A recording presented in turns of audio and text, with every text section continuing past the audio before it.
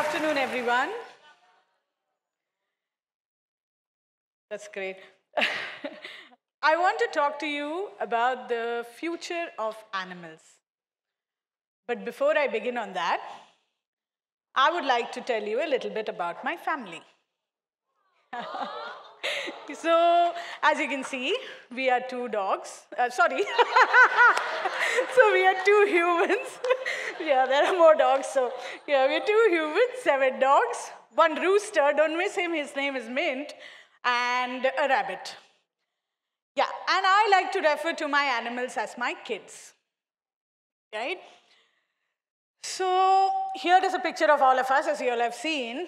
And uh, moving on to the next picture is a picture of my partner attempting to sleep. There is my partner, and this is how we have to sleep. so, yes, having nine kids is not easy, right? So, finding a rented home in Mumbai to live, with, live in with so many kids was definitely a task. And uh, eventually, I did manage to find a home on the condition that I don't bring home any more animals. But the good thing was that there was no restriction on the number of birds. So I went ahead and brought home some of the kites that my charity had rescued.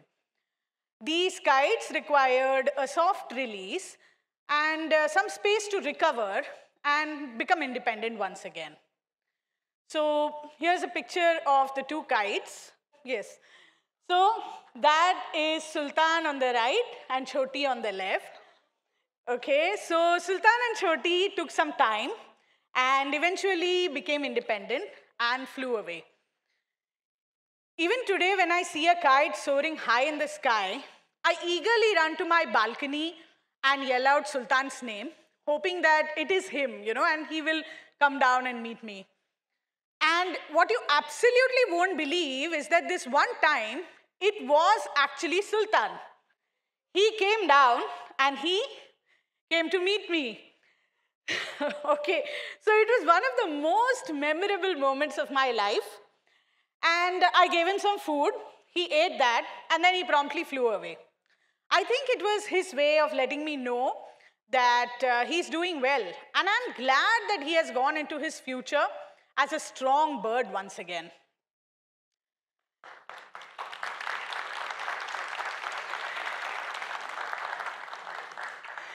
Let us now talk about the future of human and animal welfare. But before I go down that path, I want to know how many of us even believe that the welfare of animals has any serious role to play in our future? Most people think that uh, animal welfare is something like a hobby, which uh, somebody who's an animal lover does simply because they like animals. Honestly speaking, even I am one such individual. I started out by making changes at a very personal level and then gradually taking it to society. Today, I chair a charity for animals called My Pal Club Foundation. And in my experience, all that the rescued animals want is to feel that they belong. They want to feel loved. So, how do you put a price tag on this? How do you quantify this love? And that is where viewing this work from a sectoral perspective becomes really important. Animal care and welfare is that sector where human beings love animals unconditionally and without expecting anything in return. Animal care workers try to uphold the five freedoms, which is a globally established standard in animal welfare. The freedoms are freedom from hunger and thirst, freedom from discomfort by providing animals with a comfortable environment, freedom from pain, injury, and disease, freedom to express normal and natural behavior, freedom from fear and distress. However, simply establishing these five freedoms and all is not enough. Most people find it inconvenient to uphold and implement these freedoms. Animal related issues are social problems of massive size and scale, which impact us on a day to day basis. And the organizations and individuals trying to tackle these problems make up a very tiny portion of the population. We have two sets of rules, one for human beings and one for animals and the rest of the living creatures. Let us take a look at some of the ways through which this discrimination is practiced. Money. The amount of money being spent on animal welfare projects is minuscule. Most people dislike the idea of giving large amounts of money to animal charities simply because, in most people's eyes, animal charities do not affect, directly affect human life and well-being, right? Poor infrastructure. In an agrarian economy like India, where animal husbandry contributes to up to 5.2% of the GDP, one would expect good animal healthcare systems in the country. Don't get me wrong, there are government hospitals across the country, but most of them lack proper infrastructure and equipment. Compensation. Less money invested means poor compensation for animal care and welfare workers. Honestly, I have not drawn a proper salary since I started working in this field. And it is not right to expect somebody who wants to do charity work to make such huge sacrifices. Unskilled manpower. Since the infrastructure and compensation are so poor, how can we expect to attract proper talent into this sector? The only course available is in veterinary science. And that too is mainly focused on the meat and the dairy industry.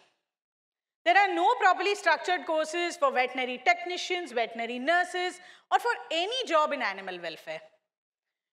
The supporting sectors of veterinary pharmaceutical and animal food are also not properly regulated. And this results in poor quality products in the market, which means that we have to rely heavily on importing these items. So why is the situation like this? Maybe history will give us an answer. In Hindu mythology, Maharshi Kashyapa plays a major role in the creation of the universe. He married the 13 daughters of Daksha who gave birth to humans, animals, and all living creatures. Amongst them are Aditi, the one I am named after, the mother of gods. Diti, the mother of demons. Surabhi, the mother of Kamadhenu, that is cows, buffaloes, uh, horses, etc. Vinata, the mother of uh, Garuda, the eagle. Kadru, the mother of Nagas and Sarpas. Sharama, the mother of the one of the most loved creatures, dogs and wolves and other canines. And uh, so on it goes. Thus, human beings, demons, gods, animals, and all living creatures became siblings. One of the earliest rescue stories is from Buddhism. Prince Siddhartha was deeply moved by the pain and suffering of the swan that his cousin Devdatta had shot down. Not only did he apply herbs to soothe the aching bird, he also uh, went to the palace court when his cousin laid claim on the life of that animal. The uh, palace sage court, he announced the verdict after listening to both sides of the story that a life belongs to he who tries to save it and not the one trying to destroy it. And the wounded swan, by right, belongs to Prince Siddhartha.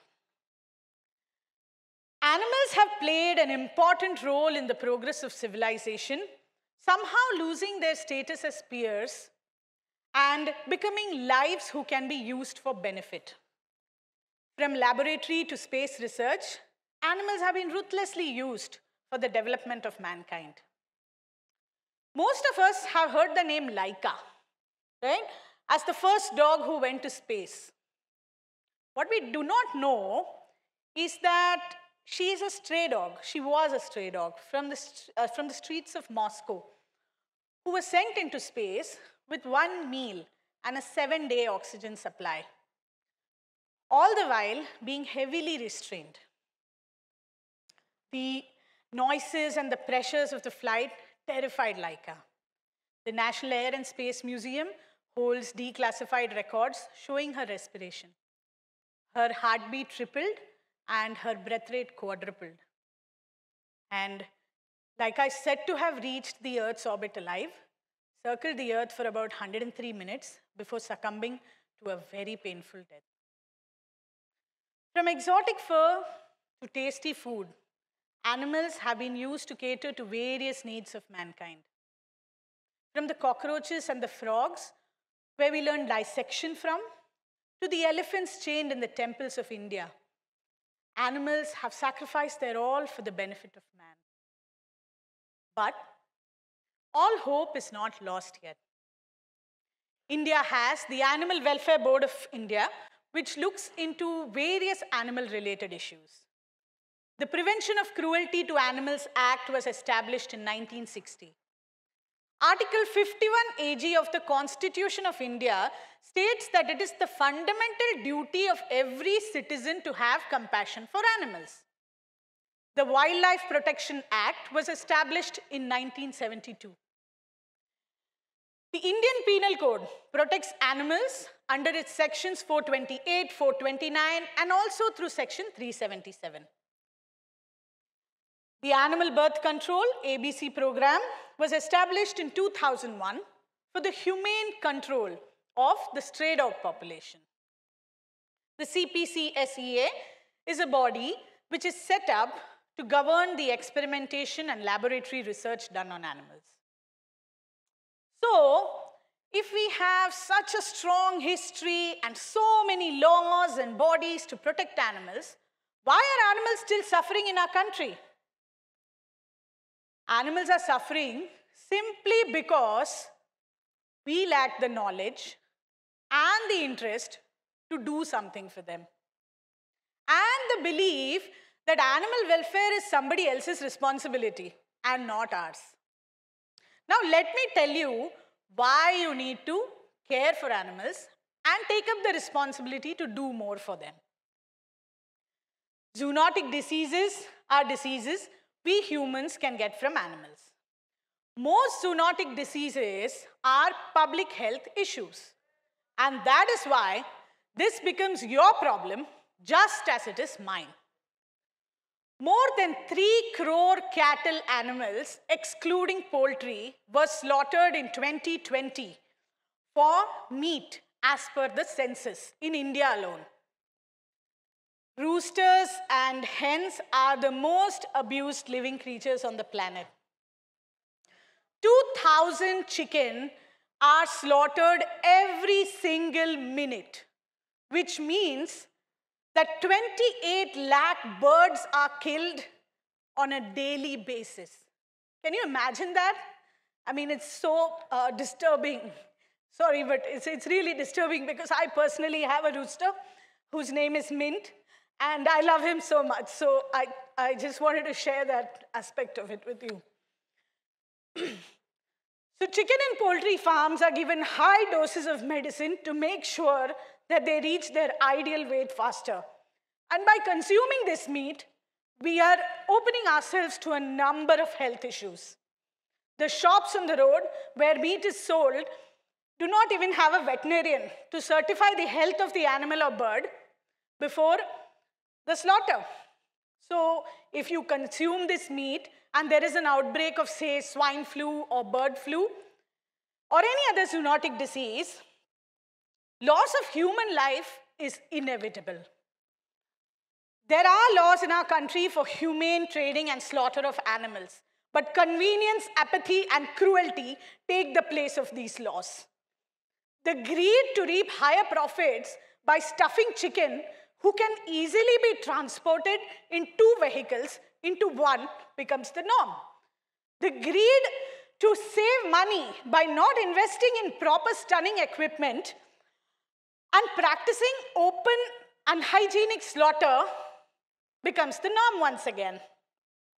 Reports say that COVID-19 began in a live animal market. Patient zero is said to be a fisherwoman from that market who got the disease from some live animal. Now, if proper laws for slaughter trade, and housing for these live animals was practiced, this would not be the situation in the world today. Companion animals, our favorite animals, because, you know, we all have a close bond with them. Companion animals have a very close bond with humans. Unfortunately, even they are not spared of cruelty. The trade of pet animals is a highly unregulated market. Pet animals are sold like over-the-counter products, resulting in thoughtless purchases and abandonment in huge numbers. And most of these abandoned animals cannot even survive by themselves because they cannot fend for themselves on the street. Unethical breeding and trade of these animals is practiced widely over adopting animals in need from shelters simply because animals, most people think that these breed animals are status symbols, right? Rescuing animals is my profession, and I do this work every single day. When I scrape from the roads the parts of a living animal who has been driven over recklessly, simply because that driver thought that two minutes of his time is more valuable than that animal's life. I'm enraged and I wish to seek justice for that animal. When I hold in my hands an animal who has been raped by a cruel human being, I am aghast at what man is capable of to satisfy his carnal desires. When I rescue an animal from a life of pain or from a life of cruelty, I feel their pain and I want to do right by them. But despite all the cruelty, the apathy, the hatred that we show towards animals, why is it that animals still love and trust us unconditionally? I'll tell you why. It's simply because animals have hope. A hope from us.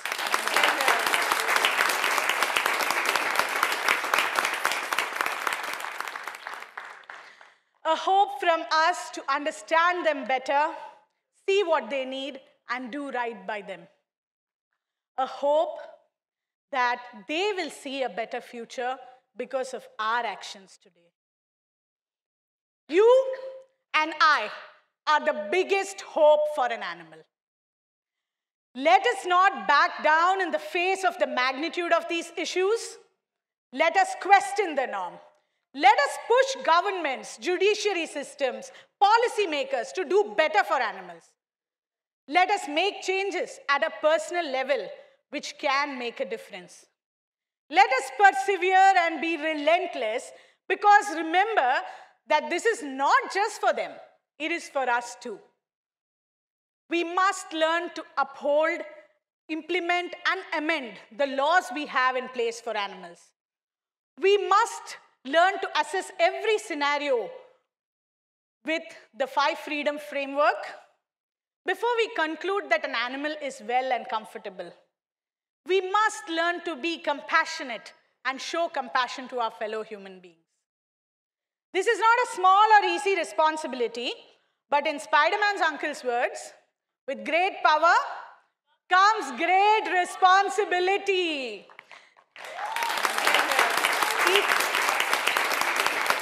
Each one of us has the ability to see animals as sentient beings. Once you learn to love an animal, you will do it for life. And it is important to understand that by saving one animal, you won't be able to change the world entirely, but you will change the whole world for that one animal. And if each one of us takes conscious actions by saving one animal at a time, we can and we will save them all. In Mother Teresa's words, you can do what I cannot do. I can do what you cannot do. But together, we can do great things. Thank you.